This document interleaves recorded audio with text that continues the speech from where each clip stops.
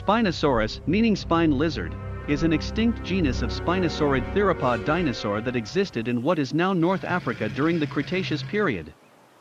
Spinosaurus is the largest of all known carnivorous dinosaurs, even larger than Carcharodontosaurus, Giganotosaurus, and Tyrannosaurus rex. Its most distinctive feature was the huge sail-like fin on its back.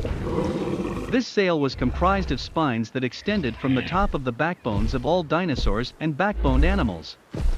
The spines of Spinosaurus were tremendous, the longest one found measured over 1.7 meters, 5 feet, tall.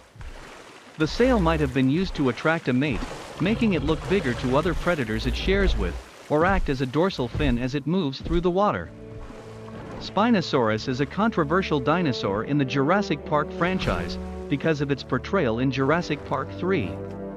Particularly when it was shown to be more powerful than the fan-favorite Tyrannosaurus rex.